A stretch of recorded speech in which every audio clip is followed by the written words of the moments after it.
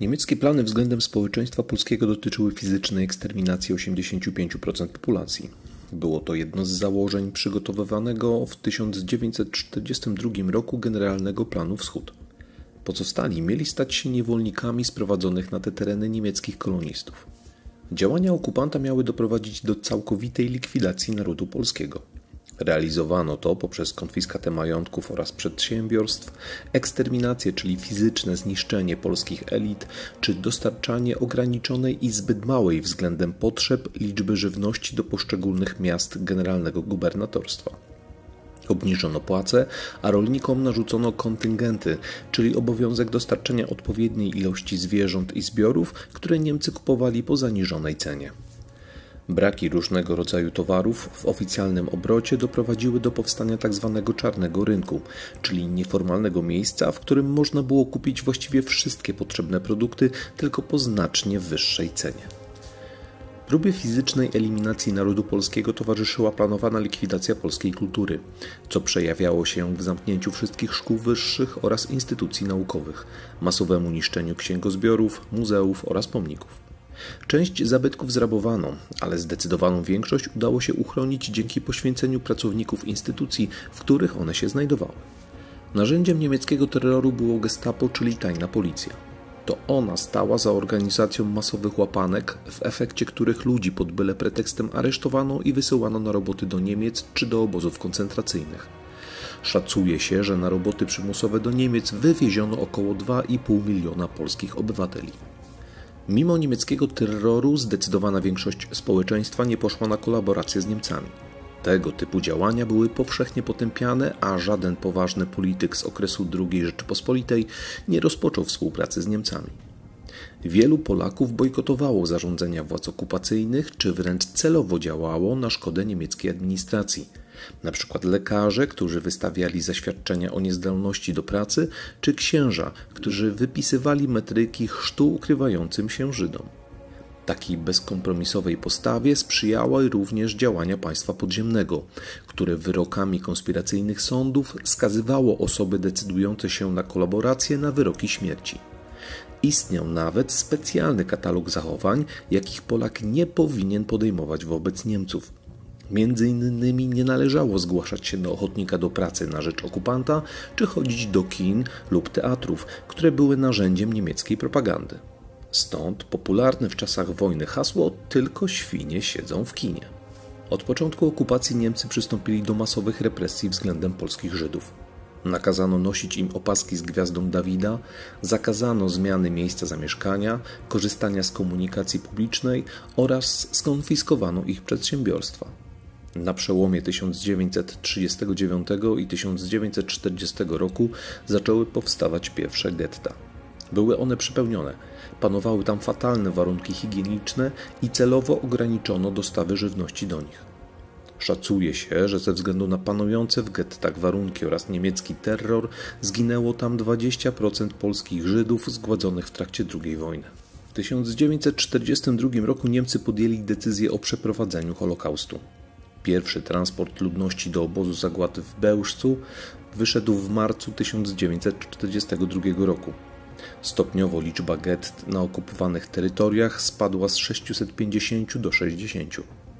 Początkowo Żydzi poddawali się procesowi biernie, jednak gdy coraz powszechniejsza stawała się wiedza o tym, co dzieje się z wywożonymi, rozpoczęły się akcje oporu. Do największych należało powstanie w getcie warszawskim, które wybuchło w kwietniu 1943 roku. Szacuje się, że w trakcie II wojny światowej Niemcy zamordowali około 3 milionów obywateli II Rzeczpospolitej pochodzenia żydowskiego. Polsce, jako w jednym z niewielu krajów w Europie, za pomoc Żydom groziła kara śmierci. Pomimo tego, wielu Polaków angażowało się w taką pomoc. Czyniono to albo instytucjonalnie, działając przykład w ramach konspiracyjnej Rady Pomocy Żydom Żegota, jak i indywidualnie.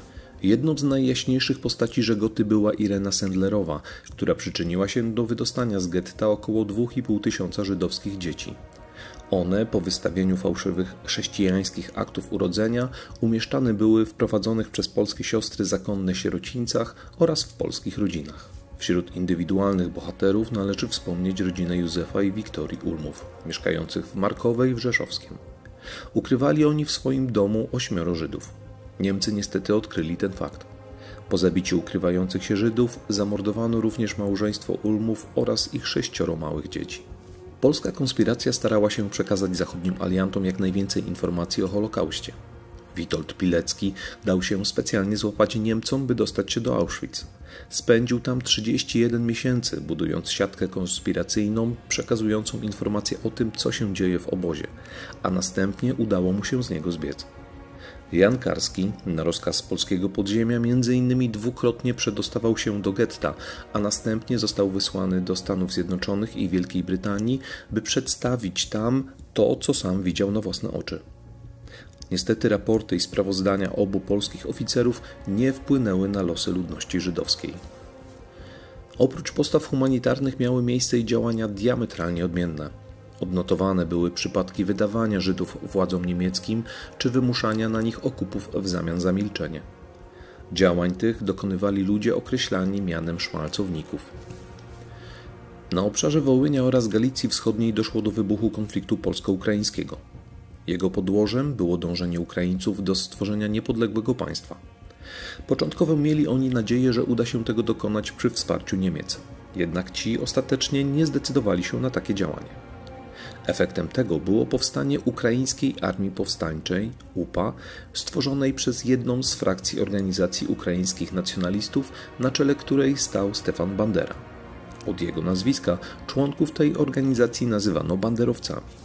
UPA jako cel stawiało sobie walkę z Polakami, Niemcami i Sowietami o stworzenie niepodległego państwa ukraińskiego zamierzano dążyć do stworzenia sytuacji, w której z terenów uznawanych przez UPA jako składowe dla przyszłego ukraińskiego państwa należy pozbyć się zamieszkujących tam innych narodowości. Dlatego w lutym 1943 roku na Wołyniu rozpoczęto przeprowadzać czystki etniczne, czyli masowe zabijanie lub wypędzanie z danego terenu przedstawicieli innych narodowości. Największe nasilenie ataków nastąpiło latem 1943 roku. W tak zwaną krwawą niedzielę, 11 lipca tego roku, oddziały ukraińskie otoczyły i wymordowały ludność około 100 polskich wsi. Mordów dokonywano w wyjątkowo bestialski sposób. Zabijano bez wyjątku dzieci i kobiety. Polacy, mimo prób formowania oddziałów samoobrony, nie byli w stanie zapobiec rzezi, a jedynie zmniejszyć jej rozmiary. Szacuje się, że na skutek działania UPA zginęło około 60 tysięcy Polaków. Rok później UPA powtórzyło tą akcję w Galicji Wschodniej. W sumie historycy szacują, że na skutek ukraińskich akcji zginęło około 100 tysięcy Polaków, a kolejne 300 tysięcy zmuszono do ucieczki.